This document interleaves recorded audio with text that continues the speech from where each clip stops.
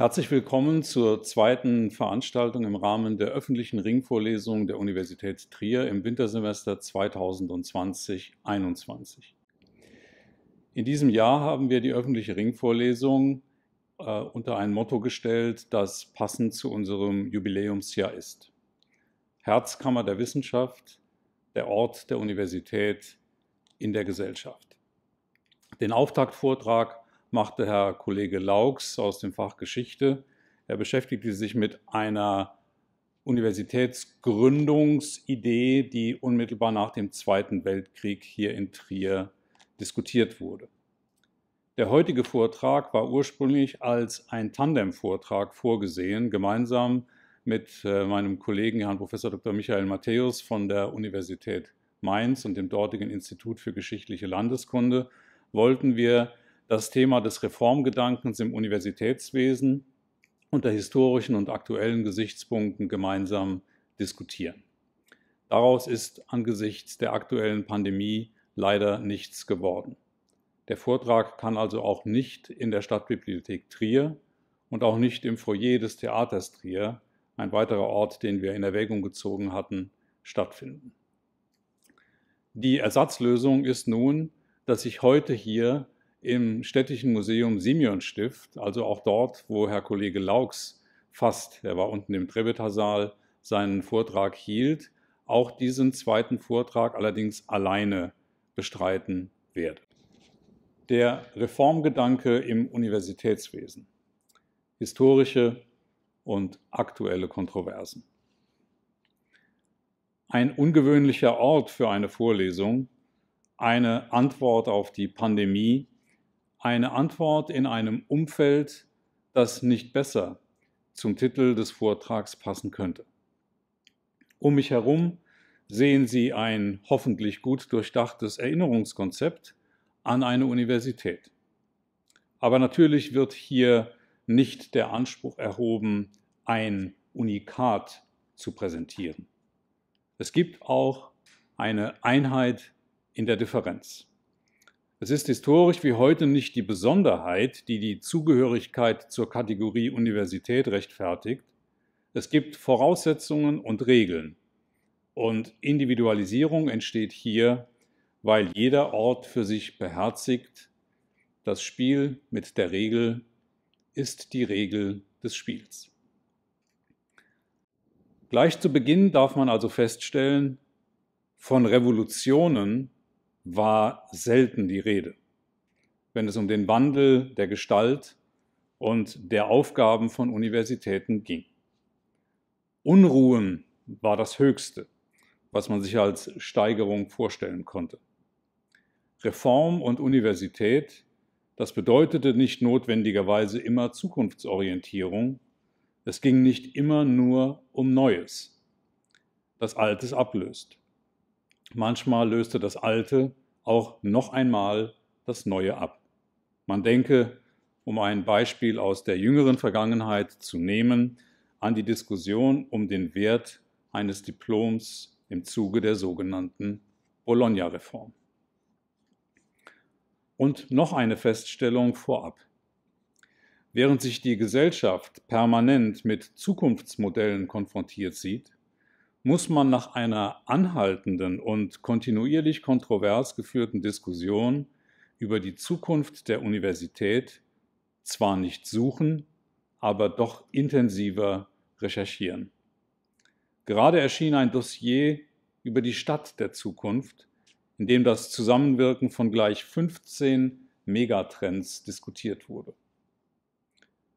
Obwohl es also diesen Zukunftskanon nicht gibt oder ein Raster, an dem man sich orientieren könnte, nicht festgelegt wurde, gäbe es viele Reformansätze, die beschrieben werden könnten. In einem ersten Teil werde ich daher die allgemeine Frage in den Mittelpunkt stellen, welche Vorstellungen den Universitas-Gedanken bestimmt haben. Und in einem zweiten Teil werde ich wenige Elemente dieses Wandels aufgreifen und in diachroner Perspektive betrachten. Dabei leiten mich die räumliche, die zeitliche, die sachliche und die soziale Dimension. Alle werden sogleich der Reihe nach aufgegriffen.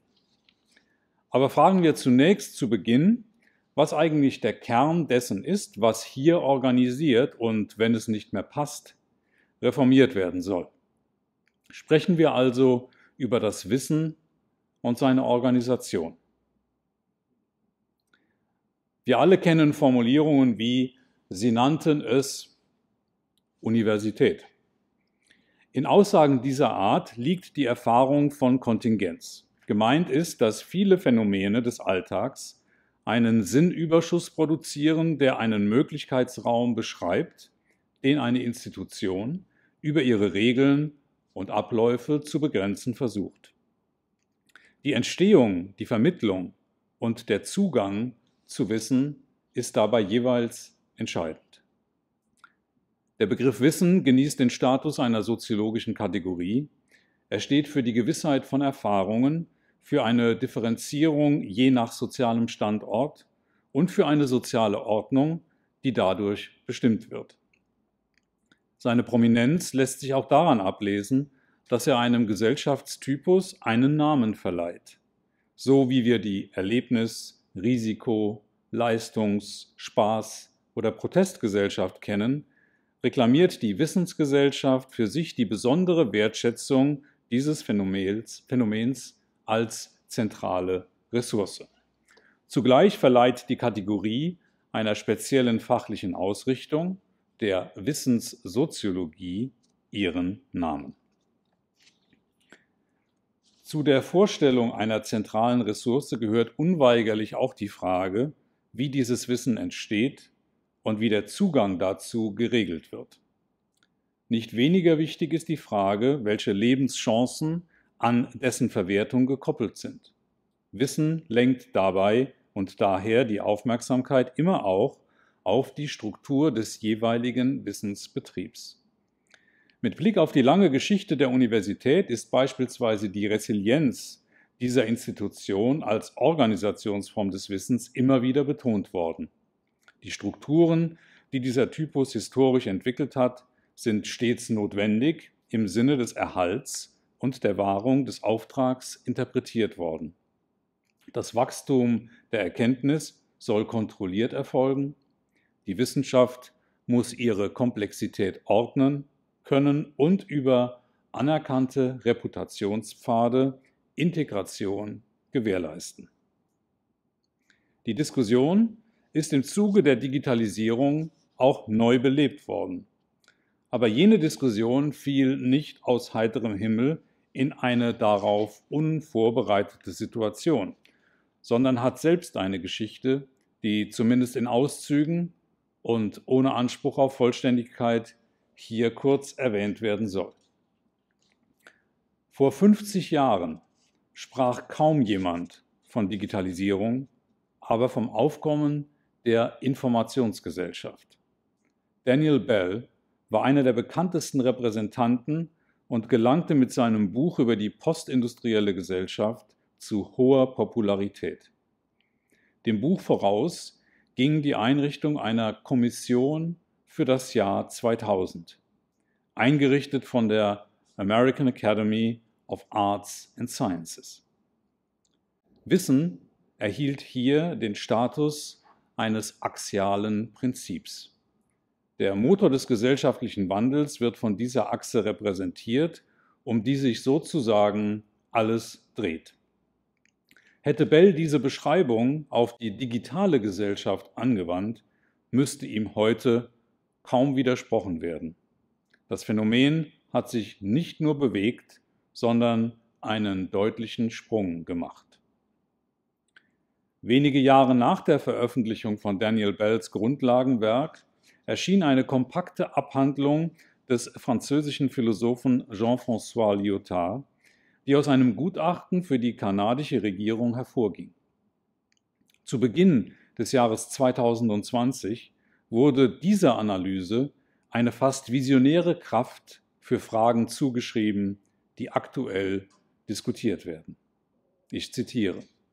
Betrachtet man die Liste seiner Beobachtungen, also der Beobachtungen Lyotards, fühlt man sich in der Gegenwart.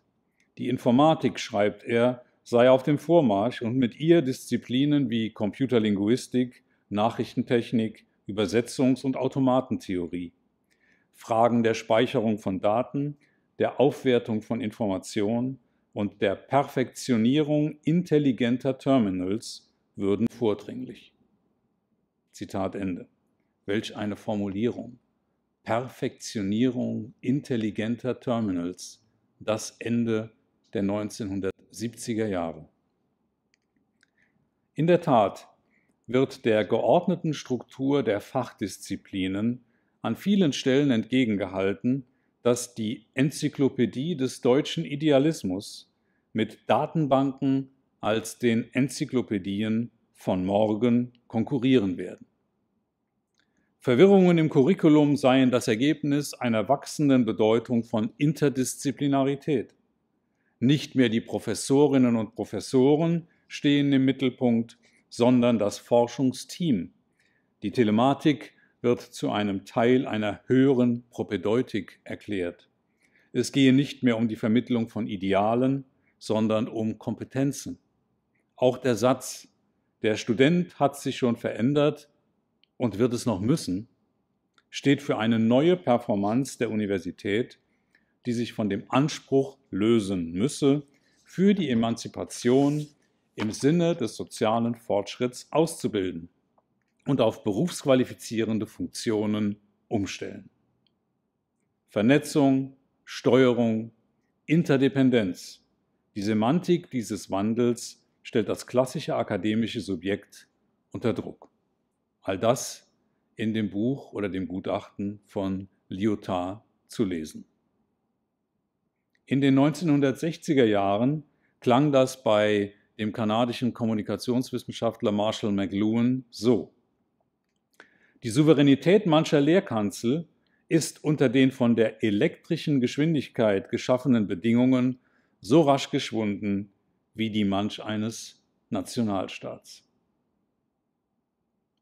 Eher unbeeindruckt von diesem massiven Einschnitt in die Personengebundenheit des Denkens betonte noch 1972 der amerikanische Soziologe Robert King Merton ein Normen- und Wertesystem der Wissenschaft, das von folgenden Prinzipien getragen werde. Erstens Universalismus. Der Geltungsanspruch von Wissenschaft kennt keine Verbindungen zu persönlichen Vorlieben oder beeinflussende Effekte sozialer Kategorien wie beispielsweise Religion oder Klassenzugehörigkeit. Zweitens Gemeinschaftlichkeit. Die Ergebnisse wissenschaftlichen Arbeitens stehen der Gemeinschaft zur Verfügung, unterliegen einem treuhänderischen Auftrag. Jede akademische Kohorte trägt zu diesem Erbe bei. Drittens Uneigennützigkeit. Die Regeln wissenschaftlichen Arbeitens schützen vor einer Vorteilnahme auf der Basis unerlaubter Mittel und gewährleisten Öffentlichkeit und Überprüfbarkeit. Und schließlich viertens, organisierter Skeptizismus. Wissenschaft legt Wert auf Reliabilität, also Zuverlässigkeit, also auf die Möglichkeit der Überprüfung von Tatsachenbehauptungen unter Einbindung etablierter Verfahren. Daraus folgt, wer das Wissen und seine Gesellschaft beobachten möchte, der muss in der Lage sein, Grenzen zu ziehen was im Jahr 2020 in unendlich vielen Köpfen an Ideen, Vorstellungen, geprüftem und ungeprüftem Wissen oder Lösungen für vorhandene und noch nicht vorhandene Probleme existiert, deckt sich natürlich nicht mit dem, was wir einen Kanon des Wissens bezeichnen würden. Aber Versuche, dieses Wissen zu bündeln, unterlagen in der Vergangenheit den Kontroll- und Hegemonieansprüchen starker, meist kirchlicher Institutionen. Bevor der gerade beschriebene Wertekanon sich entfalten konnte, musste also vieles zunächst im wahrsten Sinne des Wortes ans Licht gebracht werden. In Hans Blumenbergs Essay Licht als Metapher der Wahrheit werden die Geschichte einer Verwandtschaft und die Geschichte einer viel verwandten Metapher anschaulich beschrieben und analysiert. Die Bedeutung des Lichts hat Eingang in die Formulierung verschiedenster Gleichnisse erhalten, wovon das Höhlengleichnis Platons eines der bekanntesten sein dürfte. Menschen nehmen darin nur die Schatten von bestimmten Phänomenen wahr und verbleiben, solange sie nicht ans Licht geführt werden, in einem Zustand mangelnder Erkenntnis. In der Metapher des Lichts fließt gleichsam eine Vorstellung von und Sehnsucht nach Wahrheit zusammen. Das Spiel mit dem Licht verdeutlicht zugleich, dass man der Vorstellung, Wissen könnte etwas Abgeschlossenes, etwas Hermetisches, etwas, das Anfang und Ende kennt, sein, eine Absage erteilen muss. Das ist auch der große Gedanke der Aufklärung, dessen Abstammung aus der Lichtsprache im Deutschen gleich mehrfach ersichtlich ist. Aber auch der französische Begriff verdeutlicht es. Siècle des Lumières. Und im Englischen steht dafür der Begriff Enlightenment. Dennoch ist, wenn es um den Zusammenhang von Wissen und Gesellschaft geht, alleine die Bestimmung des Anfangs einer Debatte ausgesprochen schwierig. Wenn im Zusammenhang mit einer Öffnung der Welt des Wissens in jüngerer Zeit auch der Begriff digitaler Humanismus in Verwendung kam, dann wird unsere Aufmerksamkeit alleine durch den Namen auf die Übergangsphase des Spätmittelalters in die frühe Neuzeit gelenkt. Als im Jahre 2019 zahlreiche Beiträge das Wirken Leonardo da Vincis würdigten, galt diesem Wunsch nach Öffnung und seiner Artikulation insbesondere im 15. Jahrhundert die Aufmerksamkeit. Denken ist keine Sünde, lautete ein Beitrag von Asseuer, in dem die Bestrebungen, die Kontrollmacht der Kirche über das Wissen der Welt zu reduzieren, in ein Plädoyer zur freien Welterforschung mündeten. Dieser Erweiterungsgedanke ging einher mit der Vorstellung, die Entstehung des Wissens der Welt nicht zu monopolisieren, sondern viele an der Entschlüsselung unbekannter Dinge teilhaben zu lassen. Ich zitiere, und weil im menschlichen Intellekt der göttliche Ursprung fortwirkt, könne es dem höchsten Künstler nicht gefallen, wenn die Herrlichkeit seiner Schöpfung unerkannt bleibe. Das war die Idee des Humanismus, und sie musste gegenüber vielen Anfeindungen verteidigt werden. Ein weiteres prominentes Beispiel ist das Bestreben, das Wissen der Welt in einer, wie eben bei Lyotard schon erwähnt, Enzyklopädie zusammenzufassen. Es ist mit dem Namen französischer Philosophen der zweiten Hälfte des 18. Jahrhunderts aufs engste verbunden und gilt als eines der Großprojekte der eben bereits erwähnten Aufklärung. Zugleich zeigt eine nähere Betrachtung seiner Geschichte, also dieses Projekts, dass zwischen diesem Ideal, nämlich Wissen als ein Referenzsystem für die Gesellschaft aufzubauen, und dem Zugang zu diesem Wissen sich eine nicht unerhebliche Kluft auftut.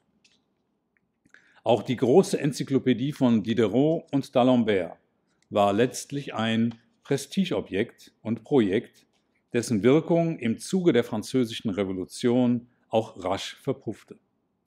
Aber Wissen eroberte damit eben weitere Teile der Öffentlichkeit und verstärkte die Erosion geschützter Wissensräume. Ein kurzer Blick auf die Institutionen, in denen Wissensvermittlung stattfand, verdeutlicht darüber hinaus Debatten über inhaltliche Schwerpunktsetzungen, aber auch über didaktische Konzepte. So lautete im Spätmittelalter ein häufiger Vorwurf scholastische Erstarrung.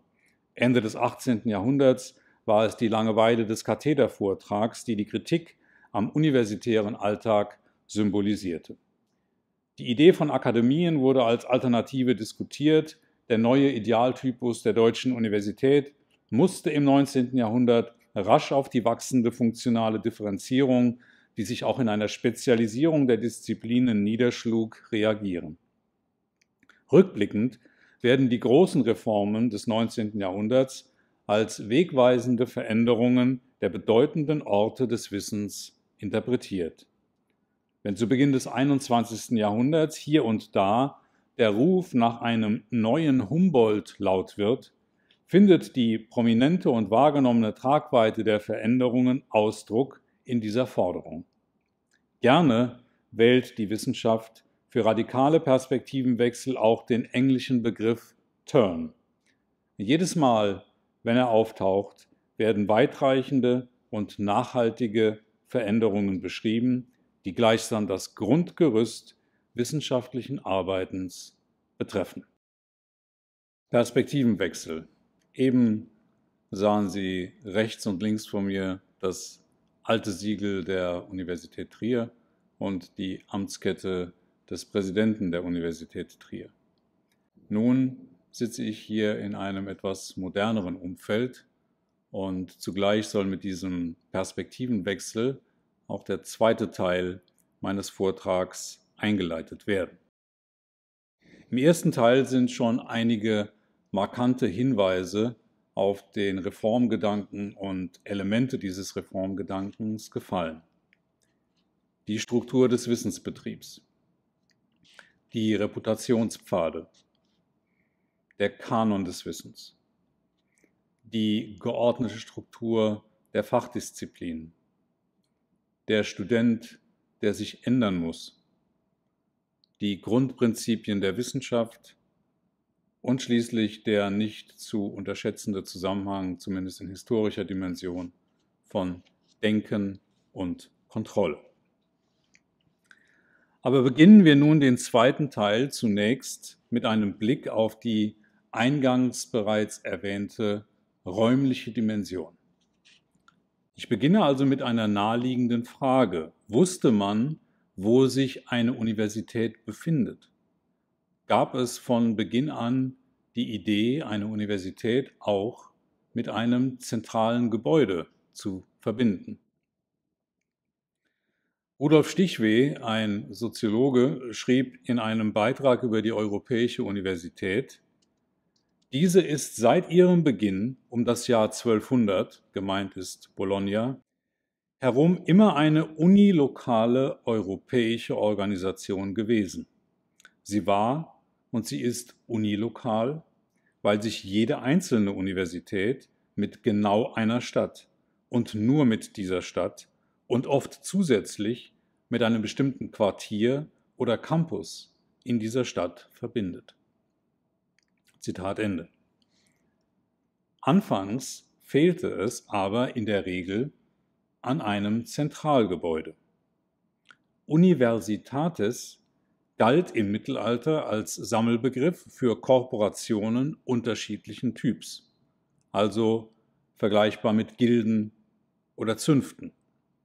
Diesem Prinzip folgend schlossen sich Lehrer und Schüler zu Universitatis Magistrorum et Scholarium zusammen. Gelehrt und studiert wurde an verschiedenen Orten, auf Straßen, in Kirchen, in Klöstern, in Klosterschulen, in Wohnungen und in sogenannten Bursen. Aus dieser mobilen akademischen Welt erwuchs allmählich eine Sozialordnung mit Regeln und Statuten. Thomas Elwein betont in seinem Buch über die Deutsche Universität zwei Entstehungsformen dieser Institution. Den eben schon angedeuteten genossenschaftlichen Zusammenschluss, häufig auch organisiert über sogenannte Nationes. Also wer in Paris studierte, organisierte sich mit denjenigen, die aus seinem Land stammten, Nationes. Und oder Disziplinen und Gebilde, die ihre Entstehung einer kirchlichen und/oder landesherrlichen Initiative verdanken. Für die Universität Trier kann man beispielsweise sagen, dass beides der Fall gewesen ist und es letztlich dann auch eine städtische Gründung war. Die Universität hatte also Gebäude, sie hatte Wohnungen und sie hatte Bursen. Aus diesem Begriff der Burse ist später der Begriff der Burschenschaften hervorgegangen, denn in den Bursen lebten die Studierenden gelegentlich auch oder häufig auch gemeinsam mit den Lehrenden zusammen, wie eine Art Studierendenwohnheim mit angeschlossener Mensa. Nach und nach folgten die Universitätsgründungen im Spätmittelalter und der frühen Neuzeit dann verstärkt der auch vermehrt einsetzenden Territorienbildung. Sie waren daher, wie Rudolf Schlichweh zu Recht beschrieben hat, unilokal und mehr und mehr auch im Rahmen der Möglichkeiten national und international vernetzt. Sie blieben unilokal und werteten nach und nach über die Jahrhunderte die Bedeutung eines Ortes, den man mit der Universität verbindet, auf. Und damit entstand allmählich auch das, was wir heute eine Campus-Atmosphäre nennen. Heute sehen sich Universitäten vermehrt vor der Frage, wie sie in Zukunft diese Campus-Atmosphäre noch retten können, weil auch in der schon eingangs erwähnten Digitalisierung Diskussionen über die Bedeutung eines Orts für das Lehren und Lernen wieder an Bedeutung gewonnen hat. Damit ist also das Thema Anwesenheit und Abwesenheit an einem bestimmten Ort neu gerahmt worden und stellt die Universitäten auch in der aktuellen Pandemie vor neue Fragen, die auf Lösungen warten. So viel also zu dieser räumlichen Dimension der Universität und der Vorstellungen, die man damit verbindet. Welchem Zweck diente nun die jeweilige Einrichtung? Sprechen wir also kurz über die sachliche Dimension. Wer sich mit der Geschichte der hohen Schulen und Universitäten befasst, der kann darin kaum eine klare Entwicklungslinie erkennen. Im Spätmittelalter lautete der Vorwurf, das habe ich im ersten Teil bereits kurz erwähnt, scholastische Erstarrung. Was war damit eigentlich gemeint? Es bedeutete zunächst, dass die ausschließliche Schulung des Verstandes nicht mehr den landesherrlichen Interessen entsprach. Es gab also einen konkreten Bedarf an Akademikern, vor allem an Verwaltungsexperten und Juristen. Die Schule war also nicht mehr nur Kirche, die Herrschaft und das Wissen werden sukzessive und allmählich, insbesondere in der Zeit des Frühabsolutismus oder der frühen Neuzeit, anders aneinander gekoppelt. Die typische Fakultätsstruktur des Mittelalters waren die sieben freien Künste im lateinischen Septem Artes Liberalis, bestehend aus dem Trivivium, dazu gehörte die Rhetorik, die Grammatik und die Dialektik und das Quadrivium, dazu gehörte die Geometrie, die Astronomie, die Arithmetik und die Musik. Und wer diese Artes beherrschte, der durfte im Anschluss entweder Theologie, Recht oder Medizin studieren. Ende des 18. Jahrhunderts war es die eben auch schon erwähnte Erstarrung des Lehrbetriebs im Kathedervortrag, die Kritik erfuhr. Die beste aller möglichen Welten, eine Formulierung, die auf Leibniz zurückgeht, fühlte sich Leibniz fühlte sich in der Universität eingesperrt und plädierte für eine alternative Form der Organisation des Wissens, nämlich die Akademie. Die Idee der deutschen Universität im 19. Jahrhundert wird dann bald zu einem internationalen Vorbild. Alles schaut nach oben, lautete ein Beitrag der Frankfurter Allgemeine Zeitung, in dem die Bedeutung des Humboldtschen Ideals für die Gründung US-amerikanischer Universitäten hervorgehoben wurde. Im Zuge der Bologna-Reform diskutierte man stattdessen, ob sich der Humboldt-Gedanke in seinem Ursprungsland selbst abschaffen möchte.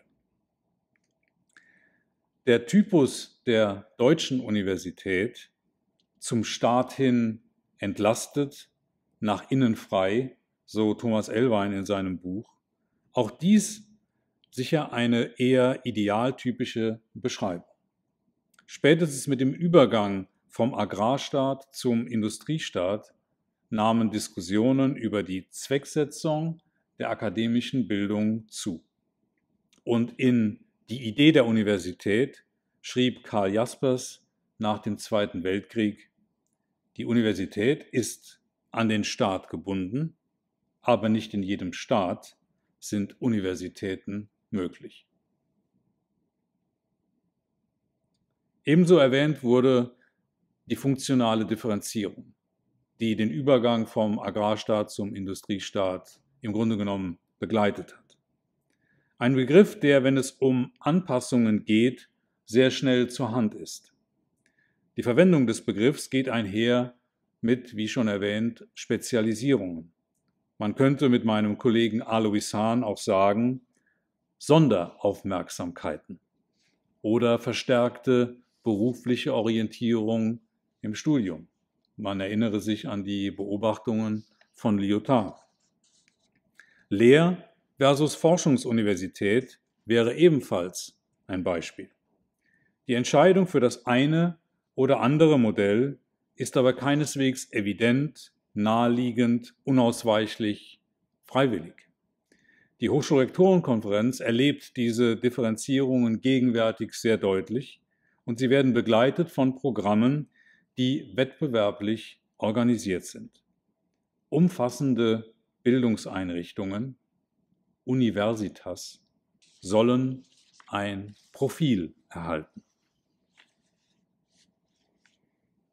Wenn ich nun also auch kurz die zeitliche Dimension anspreche, soll damit nicht auf ein bekanntes Knappheitsphänomen hingewiesen werden. Nein, es geht unter anderem um das Element der zeitlichen Bindung und um den limitierenden Effekt der Zeit auf das Volumen und die Art der Vermittlung von Wissen. Es hat also wiederum auch etwas mit den Grenzen die eine Organisation in inhaltlicher Hinsicht zieht, zu tun. Das führt zunächst einmal zu einer weiteren naheliegenden Frage. Wie viel Zeit verbringt man an einer Universität? Im Mittelalter begannen die Schüler teilweise bereits im Alter von zwölf Jahren mit ihrem Studium, das sich auf die eben beschriebenen Artes konzentrierte und in der Regel circa zwei Jahre dauerte. Ein erfolgreicher Abschluss war die Voraussetzung für ein Studium der Theologie, der Medizin oder des Rechts. Ein Magister hatte die Lehrbefugnis, ein Doktorgrad konnte sich anschließen. Die Doktoranden waren damals also circa zehn Jahre älter als ihre jüngsten Kommilitonen. Das ganze System wirkte zwar jünger, aber eben auch deutlich exklusiver als heute. Als Student war man zudem Teil eines sehr strengen Disziplinarsystems. Anwesenheit war Pflicht. Mit dem Ausbau des Schulwesens erhöhte sich auch das durchschnittliche Eintrittsalter in die Universität. Vorlesungen, Repetitionen und Disputationen dominierten die Lehre. Der Studientag blieb streng geregelt, die Tradition der Klosterschulen wirkte auch unter verstärkt weltlichen Bedingungen sehr lange fort. Ebenso wuchs das Staatsinteresse an bestimmten Qualifikationen. Die Idee der Wissenschaft stand nicht immer im Zentrum. Mit der Loslösung von festen Stundenplänen und einem damit assoziierten schulischen Modus entstand ein anderer Blick auf die Rolle der Universität. Damit verbanden sich auch erste Reformen, wie zum Beispiel in Göttingen, das vor Berlin eigentlich bereits die Blaupause für die Idee der deutschen Universität geworden war. Dort, wo sich Rationalismus und Neuhumanismus aufs engste miteinander verknüpften. Der Untergang des Heiligen Römischen Reiches deutscher Nation änderte dann sehr schnell sehr vieles. Vor allem entstand ein Universitätstyp, den viele bewunderten und der heute noch, wie eben bereits erwähnt, als Referenz dient. Nun, was veränderte sich da? Wie gestaltete sich also das Verhältnis von Lehrenden und Studierenden? Was machte nun die Idee der Universität aus. Wir kommen also nun abschließend zu den wichtigsten Elementen nämlich der sozialen Dimension. Gemeint ist damit natürlich auch der Zugang zur Universität an sich. Einen sozialen Numerus Clausus gab es im Mittelalter in diesem Sinne nicht, auch nicht in der frühen Neuzeit, aber eine über das Latein und seine Beherrschung stattfindende Selektion. Erst spät fand die Umstellung auf Deutsch als Lehrsprache statt. Arme, sogenannte Pauperes, wurden von den Gebühren befreit. Es gab auch eine Art Stipendienwesen, aber die Wissenskluft zwischen den auch gerade die Artes studierenden jungen Menschen war teilweise enorm. Adlige studierten wiederum anders und prägten mit den Studierenden aus der Bürgerschaft nach und nach das Bild des Studentenwesens vor der Moderne. Das Studium dominierte, Exzesse kamen vor. An die Stelle der Disziplin des Klosters traten vermehrt studentische Rituale, die durch die internatsähnlichen Zustände noch verstärkt wurden. Aber im Kern meine ich mit dieser Dimension eine andere Sicht auf die Art und Weise, wie in diesem System Lehrende und Studierende, aber eben nun auch Forschende und daran Mitwirkende miteinander umgehen. Immer waren Universitäten sehr hierarchisch organisierte Systeme. Jede Stufe des Systems war an Qualifikationen geknüpft. Besten Auslese wurde, so der Philosoph Schelling, Aristokratie im edelsten Sinne, als Aristokratie im edelsten Sinne verstanden. Nehmen wir zur Illustration der Reformideen, die im Vorfeld der Entstehung der Berliner Universität diskutiert wurden. Der Philosoph Johann Gottlieb Fichte sprach in seiner Denkschrift von einer Universität, in der die fortlaufende Unterredung zwischen Lehrern und Schülern erfolgen müsse. Sie sollten sich durchaus gegenseitig zu Künstlern im Lernen entwickeln. Das war Fichtes Antwort auf die von ihm selbst gestellte Frage, wozu es denn einer Universität bedürfe, es gäbe doch Bücher, die man lesen könne. Warum also jemandem zuhören, der sich nicht unterbrechen lässt und den man auch nicht zurückblättern kann? Die zweite Stimme in dieser Reformdebatte ist die bekanntere, die des Wilhelm von Humboldt. Hier lautet der Kernsatz, der Staat muss seine Universitäten weder als Gymnasien noch als Spezialschulen behandeln. Letzteres durchaus auch auf eine, eine Antwort auf die durch Frankreich induzierten Entwicklungen im nicht mehr existierenden Heiligen Römischen Reich deutscher Nation. Es gehe eben nicht primär um die Weitergabe, sondern um die Hervorbringung von Wissen. Noch um 1800 erhielten zum Beispiel Doktoranden an der Universität Königsberg die Anweisung, in ihren Dissertationen solle sich nichts Neues finden. Nequid novi incit. Dieses Erfolgsmodell steht bis heute Pate, wenn das moderne Universitätswesen nach seiner Humboldtschen Tradition untersucht wird. Dazu gehörte auch die Professur als Privileg und gleichzeitig als Einladung zur Konkurrenz. Aber reden wir von einem System, das wirklich weite Teile einer Gesellschaft erfasst bzw. erfasst hat? Der bereits zitierte Rudolf Stichweh spricht von Inklusionsrevolutionen der Moderne, die sich seit dem Ende des 18. Jahrhunderts beobachten lassen. Das System der Hochschulerziehung zählt hierzu. Um 1900 waren es maximal ein bis zwei Prozent der männlichen Bevölkerung, heute sind es bis zu 50 Prozent einer jeweiligen Generation, in manchen Ländern sogar bis zu 100 Prozent die eine akademische Einrichtung besuchen und durchlaufen. Trotzdem bleiben in diesen demokratisierten Institutionen aristokratische Züge erhalten. Das in Anführungszeichen aristokratische Element blieb ein Habitus des Universitätswesens in Teilen bis heute. In Thomas Elweins Die Deutsche Universität, erschienen im Jahr 1992, findet sich ein bemerkenswerter Satz. Ich zitiere. Überlegenes Denken heißt immer, für den Partner, Konkurrenten, Gegner mitzudenken.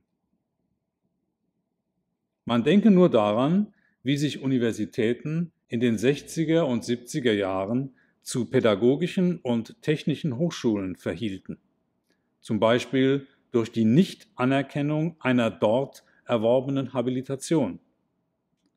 Auch auf das Verhältnis zu den Fachhochschulen lässt sich das teilweise auch heute noch übertragen.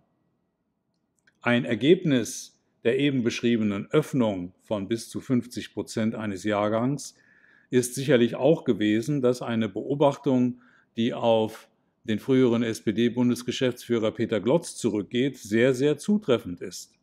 Aus nur Studierenden sind auch auch Studierende geworden, weil das dritte Lebensjahrzehnt eben nicht mehr nur ausschließlich der Qualifikation und der Konzentration auf ein Studium gewidmet wird oder gewidmet werden kann.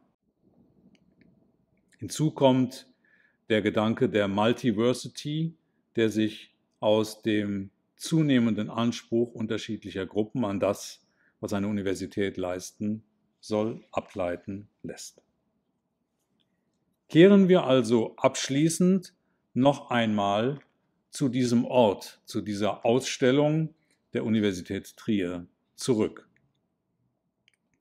Die Wiedergründung der Universität Trier im Jahr 1970 war, folgt man einer Typologie von Helmut Schelsky, eine administrative Gründung. Und Nina Grunenberg schrieb damals in der Zeit, Trier Kaiserslautern ist die schnellste, geräuschloseste und effizienteste Neugründung der Nachkriegszeit. Zitat Ende. Hinzufügen möchte ich, dass es bereits 1971 eine Haushaltssperre zur Stabilisierung der Konjunktur gab. Den Gründungsvätern des Jahres 1473, und damals hatte die Universitätsgründung einen Vorlauf von fast 23 Jahren, ging es nicht wesentlich besser. Auch dort, damals wie heute, war Knappheit immer mit im Boot. Wer also die Zukunft der Universität diskutiert, der kommt, egal an welchem Punkt in der Geschichte er beginnt, schnell auf Fragen wie Praxistauglichkeit, Forschungsfähigkeit, Steuerbarkeit, Autonomie und noch einmal Knappheit. Wer meint, er könne diese Fragen ausklammern, wenn er über die Universität der Zukunft spricht, der wird schnell feststellen müssen, dass viele der geäußerten Vorstellungen relativ rasch vom Sockel der Euphorie auf den Boden der Tatsachen zurückgeholt werden. Ich habe heute bewusst wenig, eigentlich nur zu Beginn und hier und da im Verlaufe des Vortrags über die Herausforderung der Digitalisierung gesprochen. Ich erwähnte das Gutachten von Lyotard für die kanadische Regierung und Daniel Bell mit seiner Kommission für das Jahr 2000. Das 21. Jahrhundert hangelt sich gegenwärtig von Digitalkongress zu Digitalkongress. Mehrmals im Jahr wird dort über die Auslegung der digitalen Zukunft gerungen. Seit Jahrzehnten erleben wir einen technologischen Verfolgungswahn, der die Entwickler untereinander antreibt und die Nutzerinnen und Nutzer als Letztentscheider darstellt. Auch die Universitäten sehen sich ständig mit solchen Zukunftsmodellen konfrontiert, die mit ihrer gelebten Praxis häufig wenig zu tun haben, aber einen diffusen Handlungsdruck hinterlassen. Das ist durch die aktuelle Corona-Pandemie noch gesteigert worden. Ebenso hat die Zukunft des Lehrens und Lernens dadurch einen digitalen Schub bekommen. Der Möglichkeitssinn ich erinnere an Robert Musil, treibt als gedanklicher Motor, als Ideenschmiede viele Szenarien in die akademische Welt. Wenn morgen nur noch Klick wäre, dann plötzlich waren wir im Frühjahr 2020 mitten in dieser Welt. Und mitten in diese vorübergehende akademische Implosion kam die Erinnerung an einen visionären Schriftsteller, Don DeLeo, der in einem Interview zu seinem jüngsten Roman Die Stille vor der Pandemie geschrieben und abgeschlossen sagte, wie leben wir jetzt? Ich weiß es nicht. Und der vor 50 Jahren etwas dachte, nämlich in seinem Roman Amerikaner, das einen im akademischen Corona-Jahr wirklich umhaut. Ich zitiere. In diesem Roman beschreibt äh, Delio einen abendlichen Dialog von zwei Personen, die an einem Lagerfeuer sitzen und der eine sagt zu dem anderen, er hat gesagt, alle neuen Universitäten würden nur noch aus einem kleinen Raum bestehen. Das würde folgendermaßen funktionieren. Zu Beginn eines jeden Semesters würde die gesamte Studentenschaft, die mindestens 500.000 betragen müsste, damit die Computer genug zu tun hätten, sich auf einem großen freien Platz vor einer Fernsehkamera versammeln. Sie würden auf Videoband aufgenommen. In einer getrennten Aktion würde man dann auch einzeln das Lehrpersonal auf Video aufnehmen. Anschließend würden die beiden Monitore in den einen Raum gestellt werden, der die Universität darstellt. Zitat Ende. Suchen Sie jetzt nicht nach den technischen Unzulänglichkeiten in dieser Beschreibung. Denken Sie eher darüber nach, was heute denkbar wäre, aber aus guten Gründen nicht getan wird. Ich danke Ihnen für Ihre Aufmerksamkeit.